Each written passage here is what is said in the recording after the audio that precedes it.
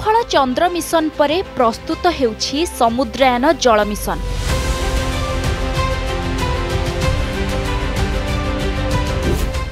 ଯାହାର ନାମ ସମୁଦ୍ରାୟନ ପ୍ରକଳ୍ପ।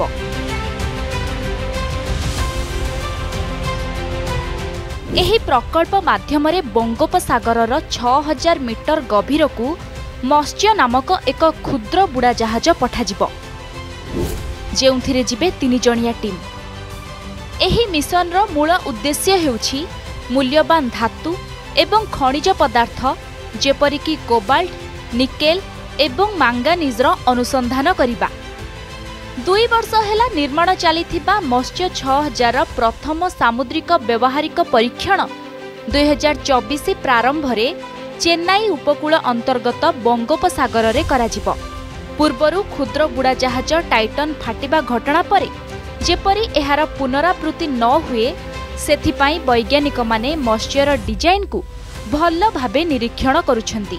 ମତ୍ସ୍ୟ ଛଅ ହଜାରକୁ ନିର୍ମାଣ କରିଥିବା ବୈଜ୍ଞାନିକମାନେ ଏହାର ଡିଜାଇନ୍ ନିର୍ମାଣରେ ବ୍ୟବହୃତ ସାମଗ୍ରୀ ପରୀକ୍ଷା ଓ ପ୍ରାମାଣିକତା ଆଦି ସମୀକ୍ଷା କରୁଛନ୍ତି। ପୃଥ୍ୱୀ ବିଜ୍ଞାନ ମନ୍ତ୍ରାଳୟର ସଚିବ ଏମ୍ ରବିଚନ୍ଦ୍ରନ କହିଛନ୍ତି ଦୁଇହଜାର ଚବିଶର ପ୍ରଥମ ତିନି ମାସ ମଧ୍ୟରେ ପାଞ୍ଚଶହ ମିଟର ଗଭୀର ସମୁଦ୍ରରେ ଏହାର ପ୍ରଥମ ସାମୁଦ୍ରିକ ପରୀକ୍ଷଣ କରାଯିବ। ଦୁଇହଜାର ଛବିଶରେ ଏହି ଅଭିଯାନ ସଫଳ ହେବ ବୋଲି ଆଶା କରାଯାଉଛି। Bureau report Argus report.